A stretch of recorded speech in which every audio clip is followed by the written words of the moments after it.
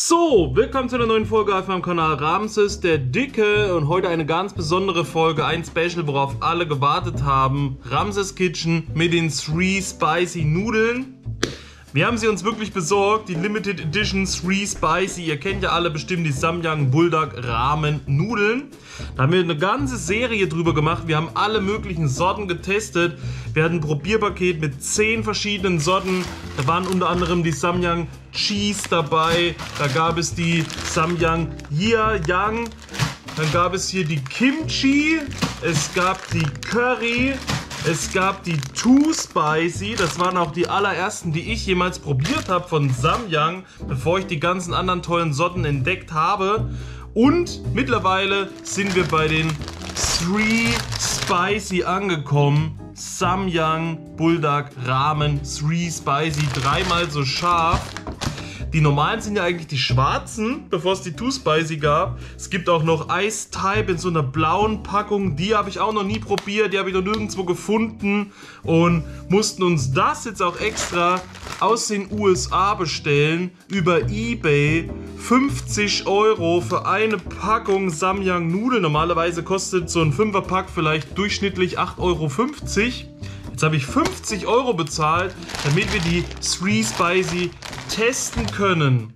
Gleichzeitig möchte ich auch noch ganz kurz ein Shoutout geben, beziehungsweise eine Hintergrundgeschichte, wie ich eigentlich zu den Samyang-Nudeln gekommen bin, denn seit Jahren wird mein Kanal ja nur noch über Samyang definiert und jeder zieht mich auf mit Samyang und auch die Zuschauer schicken mir regelmäßig über die Amazon-Wunschliste Samyang-Nudeln ohne Unge wäre ich gar nicht zu den Samyang-Nudeln gekommen. Ich habe damals nämlich ganz oft Unge geguckt in den Streams, sonst was hin und her, die Highlights auf, seinem, auf seinem Kanal. Da habe ich selber noch nicht so viel gemacht. Mit YouTube habe ich Unge geguckt.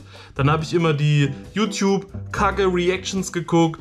Und der hat ja auch immer verschiedene Challenges gemacht und Essen und so Sachen. Und irgendwann hat er die schärfsten Nudeln der Welt getestet, die Samyang. Und da bin ich auf äh, erstmal auf die Samyang aufmerksam geworden und nur durch Unge habe ich mir dann die Too Spicy zugelegt und fand die so lecker, so genial und gleichzeitig auch so scharf. Ich liebe scharf, ich esse gern scharf, aber nur scharf ist Mist. Scharf mit richtig tollem Geschmack ist das Beste.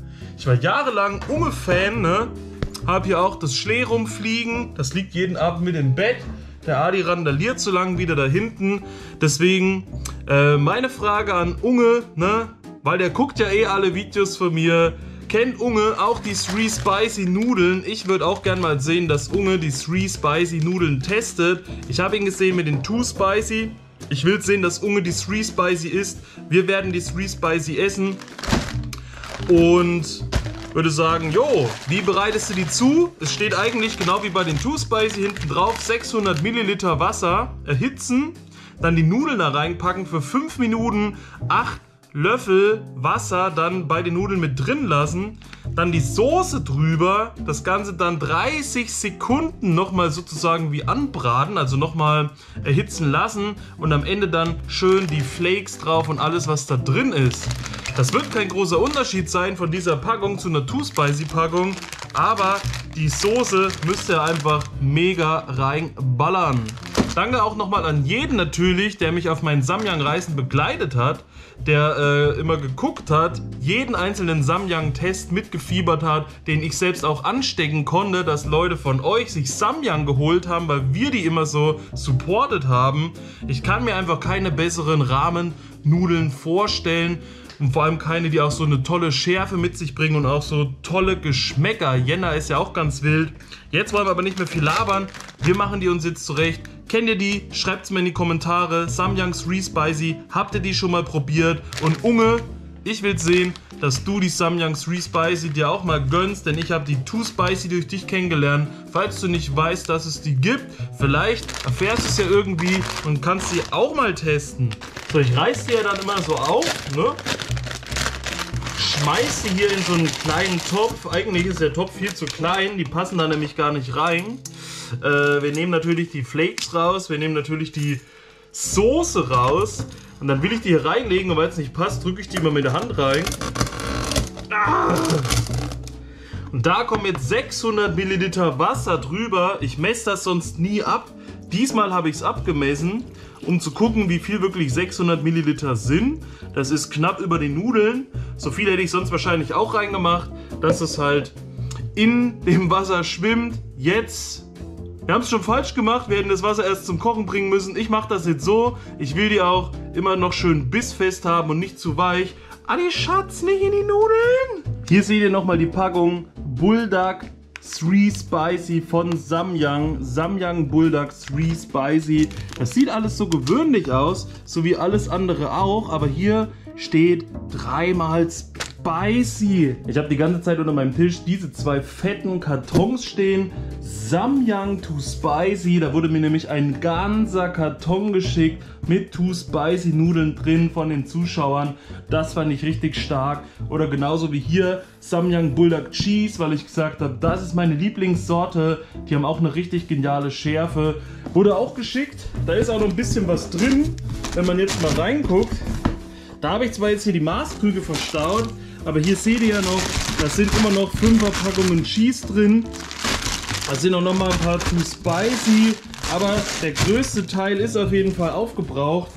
Danke also an jeden, der mir immer die Nudeln geschickt hat. Ich finde das so genial und so stark von euch. Das sind einfach meine absoluten Lieblingsnudeln. So, der Adi chillt mittlerweile auf den Kartons. Die habe ich nämlich wieder runtergestellt. Die Nudeln werden langsam auch ein bisschen weicher. Also ich gucke immer, dass die halt nicht so schlapprig sind. Ich will die immer noch schön bissfest. Ich würde sogar, wenn die so sind, würde ich die sogar wahrscheinlich schon direkt rausnehmen, weil die sind nicht mehr hart. Die kannst du jetzt eigentlich schon essen. Wir warten trotzdem noch mal ganz kurz ab. Das Wasser hat noch nicht mal gekocht. Man soll das 5 Minuten im kochenden Wasser lassen. Ich würde die so wie die sind jetzt einfach sogar schon nehmen und schlecken. Dann kurz abgießen. Und dann gucken wir mal, dass da noch ein bisschen Brühe übrig ist, die ich sonst eigentlich nicht habe. So, wir nehmen jetzt mal den Topf, wir gießen das jetzt direkt mal hier ab. Und bevor wir das großartig ausschütteln, geben wir die Nudeln direkt wieder zurück in den Topf, damit da jetzt noch ganz viel Flüssigkeit dran ist. Das sollen jetzt ganz improvisiert 8 Löffel sein. So, da schneiden wir das Tütchen nämlich auf mit der Soße, packen das mal hier hinten hin. Die sieht auch mega flüssig aus. Ich habe die sonst eigentlich immer ein bisschen dicker in Erinnerung. Die scheint aber flüssiger zu sein. Auf jeden Fall ist sie wieder schön tief schwarz. Mega brutal, hoffe ich. Normalerweise verrührt man das jetzt, denke ich mal, ein bisschen und stellt das nochmal 30 Sekunden hier auf die Platte. Also wir machen das mal hier ein bisschen rum. Ich stelle das sonst nicht nochmal drauf. Ich mache sonst die Soße drauf und schmeiß mir die dann direkt rein. Jetzt vermischen wir das hier mal ein bisschen, damit dann das Anbraten stattfinden kann. Was heißt aber hier 30 Sekunden nochmal draufstellen. Ich lasse auch sonst kein Wasser drin. Ich tue die komplett abtropfen lassen, pack die hier rein, dass ich einen dicken Nudelbrei habe. Die nehmen jetzt auch kaum die Soße an. Die sind jetzt auch viel, viel heller, als sie sonst bei mir immer sind, aber egal packen wir jetzt hier drauf. Normalerweise 30 Sekunden. Ich weiß nicht, ob in den 30 Sekunden sich noch so viel hier tut. Dann haben wir immer noch die Flakes, die draufkommen. Und dann packen wir das alles auf den großen weißen Teller, den wir da haben. So, ihr hört das jetzt schon. Hört ihr die Bratgeräusche? Damit die Soße sich jetzt auf, auflöst. Was weiß ich. Das Wasser verdunstet ein bisschen. da kommen schon die scharfen Dämpfe hoch. So, lass mal das einfach noch ein bisschen drin. Pipapo. 30 Sekunden. Was sind 30 Sekunden? Eine halbe Minute. 30 Sekunden, halbe Minute. So. 30 Sekunden müssten eigentlich schon um sein. Jetzt fängt es nämlich an. in den Topf hier schon rumzumachen. Wir packen die einfach jetzt mal hier auf den Teller und bitte nicht mit einer Gabel in den Topf äh, rumkratzen. Das ist auf jeden Fall nicht gut für den Topf. Ja? Macht's nicht wie ich. Seid schlauer. Schmeißt euch das jetzt hier drüben hin. Es ist halt eine kleine Portion, da ist immer nicht viel drauf. Deswegen, wenn ich mir die wenn ich mir die Käse mache, mache ich da immer gleich zwei. zwei Beutel mit einmal. Wir hauen jetzt die Flakes noch drauf erstmal. Dann nehmen wir das Ganze mit rüber und wollen das dann natürlich essen. So ungefähr so. Gut aufgeteilt ist auch anders, weil das hängt jetzt einfach alles da auf einem Berg, Zipfel. Und jetzt würde ich sagen, nehmen wir das Ganze, guckt euch das an. Three Spicy, packen das dahin. Die Packung holen wir auch noch hier rüber. So, ich muss aber sagen, was mir zuerst auffällt, ich bin eigentlich ein bisschen enttäuscht, da ich ja sonst die Nudeln immer komplett abgieße, die Soße auf die Nudeln mache, es rumrühre und direkt so dann aus dem Topf esse. Ich esse aus dem Topf wie ein Höhlenmensch. Ist immer so viel Soße an den Nudeln dran und die sehen schön dunkel und brutal aus.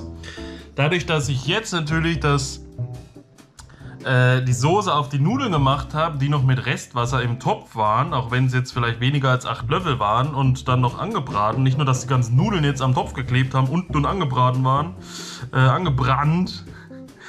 Die sehen halt auch so unscheinbar aus. Also die sehen auf jeden Fall nicht so spektakulär aus, wie ich das jetzt eigentlich mir dachte. Ach so, ich brauche noch, ich brauche ja noch ein, ein aussagekräftiges Thumbnail. Dann nehmen wir mal diese Tüte und machen das mal so und dann ah, behindert gucken, damit wir das als Thumbnail nehmen können. Und jetzt würde ich sagen, ich nominiere den Unge, ne, dass der sich mal die Sri Spicy Nudeln besorgt, äh, meinetwegen auch aus Amerika oder sonst woher und isst die mal so einen Teller, was halt sehr wenig aussieht, aber wir schlingen uns jetzt einfach rein. Es ist schön angerichtet, ich habe halt nicht so eine geile Kamera, aber Mal gucken, wie es schmeckt. Bin ich mal gespannt.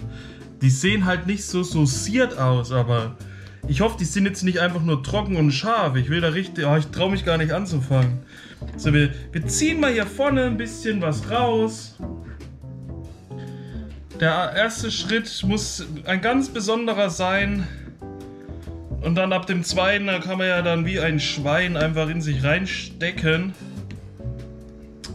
Mann!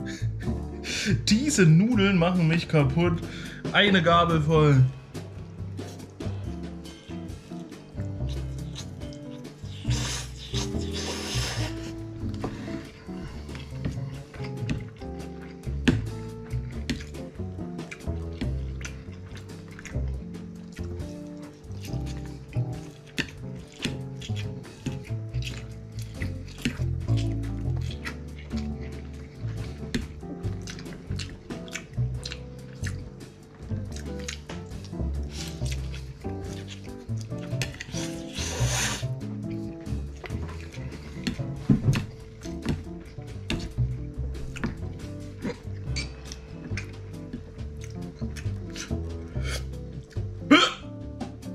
Schluckauf ist. Schluckauf ist da.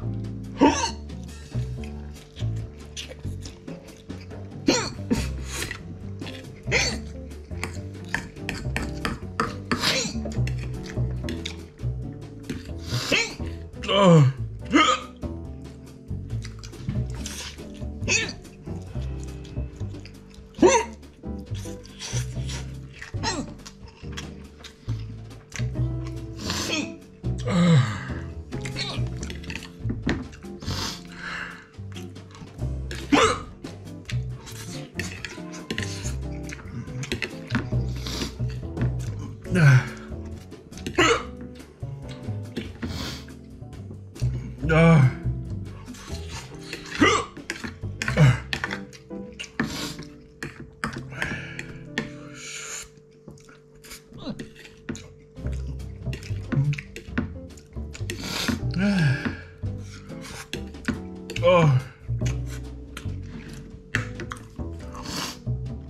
Jetzt habe ich einen ganz roten Finger.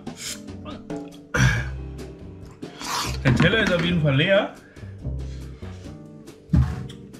Das Essen hat auch nicht so lange gedauert. Haben wir den typischen roten Samyang-Mund. Wir können auch mal die Brille abnehmen. Ja, dass ihr seht. Die Augen drehen auf jeden Fall. Schluck auf ist eine ganz natürliche, normale Reaktion. Ich finde es sogar eigentlich immer geil, wenn man Schluck auf hat, dass man wirklich merkt, oh, es ist scharf, es ist scharf, dass der Körper sich meldet oder der Körper sagt, ey Bruder, Ja, was machst du da schon wieder? Ansonsten muss ich sagen, so blöd es klingt, fand ich die gar nicht so scharf, ja. Ich heul hier alles voll, ich hab Schluck auf, ich bin am Machen. Ich merke aber jetzt nicht unbedingt diesen riesen Unterschied zwischen Too Spicy und 3 Three Spicy. Ich glaube, wenn, dann müsste ich nochmal die Too Spicy probieren. Die hätte ich irgendwie viel schlimmer in Erinnerung. Vielleicht hat man sich aber mittlerweile auch ein bisschen noch mehr Schärfe antrainiert. Als ich die Too Spicy damals auf der Toilette gegessen habe, habe ich da gehangen. Feuerroter Kopf war komplett im Eimer. Die müssten ja um so um die 8000 das Scoville haben. Das müssten jetzt um die 12.000 sein, wenn die normalen so 4.000 haben. Aber irgendwie steckt man das gerade an sich insgesamt besser weg, als ich damals die Too Spicy weggesteckt habe. Wir müssen auch nicht trinken. Mein Mund tut ein bisschen weh. Aber es war geil. Aber irgendwie war es auch, war es auch ein bisschen trocken. Also, wenn ich das sonst nicht so anbrate, diese 30 Sekunden, und das alles noch so ein bisschen in der Soße ist, ist das auf jeden Fall noch mal mehr Soße dabei. Ich glaube, beim nächsten Mal werde ich die wieder einfach in der Soße direkt lassen und die direkt aus der Soße, aus dem Topf rausnaschen und auf dieses Anbraten verzichten. Denn ich merke nicht, dass es dadurch extrem schärfer wird, aber es wird halt irgendwie dann einfach trockener. Und so habe ich lieber die Soße noch dabei. Habt ihr die Three Spicy schon getestet? Schreibt es mir in die Kommentare. Würdet ihr die auch gerne mal testen? Schreibt es mir rein. Das war's von meiner Seite aus. Wir sehen uns beim nächsten Mal. Bis dahin, Peace out. Vorhaut. Euer Ramses. Oh.